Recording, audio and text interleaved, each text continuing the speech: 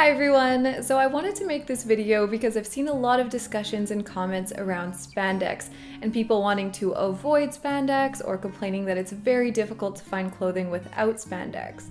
Now spandex is definitely not good for the environment, but that small percent can actually have a lot of benefits when it comes to your clothing. I think it's both a terrible and wonderful thing and I'm going to explain why and why I actually look for it in a lot of clothing. So first of all, spandex is also called elastane or lycra, and it is a stretchy fiber that is blended into fabrics. It's made from petrochemicals. The process to make it can be pretty toxic and energy intensive, and also because it's a plastic, it doesn't biodegrade.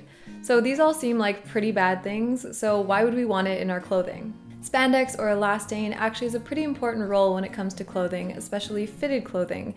It pulls the fibers back together after they've been stretched out so that the clothes retain their shape. Because we're always moving, we stretch out our clothes. A great example of this is our elbows. When we bend our elbow, the fabric is really stretching across that point to accommodate it. And especially with knit fabrics, they already have some stretch to it, so they need something to help them kind of pull that back together. Now generally we'll still get a little bit of extra bulging in elbows and knees, but something like elastane really helps with pulling that back together. And this is especially important with fitted garments. We don't want bulgy, saggy, misshapen clothes after only a couple wears. Another example of this is the long t-shirt dress I have.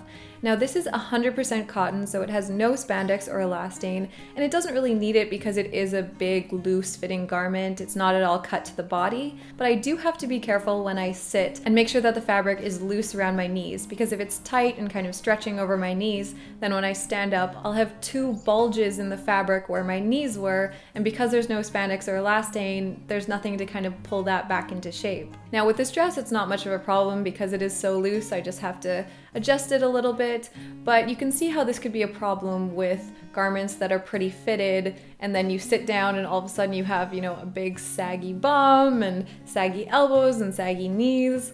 So the amount that fabric returns back to its original shape is called fabric retention, and this becomes very important when you're designing clothes. When I was an intern actually in a fashion company, I spent a ton of my time testing fabric retention. So we would take fabric samples, cut them out to a specific size, stretch them out, let them sit and go back, and then measure if they actually went back all the way or a percentage of the way. And this is really important for designers because if they're designing a really fitted piece, they need something with really good fabric retention. Now if you really want to avoid elastane, it's best to stick with loose fitting garments and also go for more woven materials instead of knit materials because they'll retain their shape better. Now, oftentimes washing will put the fabric back to the way it was, which is great, but that won't last forever. It'll generally go back less and less. A lot of my clothes I don't want to have to wash after every wear, but if I have to wash it to kind of reset the fabric, then I'm wasting a lot more energy and just washing clothes unnecessarily.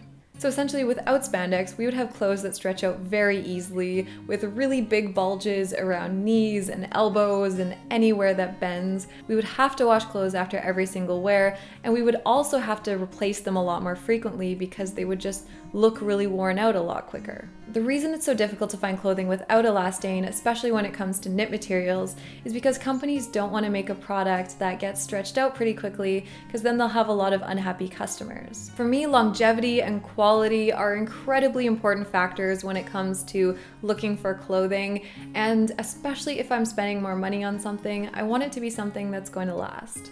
So while spandex does improve the wear and longevity of our clothes, it also comes with another set of problems because as a fiber, it breaks down really quickly, especially with heat. So if you're washing your clothes with hot water and especially drying your clothes, you're breaking down those spandex fibers, and that's why clothes that even have spandex get stretched out and bulgy and worn out quickly. Caring for your clothing properly is so important to how long they're gonna last, and I have a video more about clothing care which I will link in the cards, but heat is especially damaging to your clothes, and a big part of that is because it does break down the elastane fibers. Basically, it's kind of a terrible material. It's bad for the environment, it requires special care, but it's all that we have, at least widely commercially available, to help our clothes look good and last longer. So I totally understand why some people want to avoid it, but I also think that it is is kind of important to weigh the pros and cons and also really think about the functionality of the garment and whether it needs spandex or not. Because there definitely are clothes that don't need spandex, but like I said, if you are looking for more fitted pieces, especially in like knit jersey materials, it's often pretty good to have the spandex. So I hope you enjoyed this video. I'd love to hear in the comments what your thoughts are on this spandex dilemma.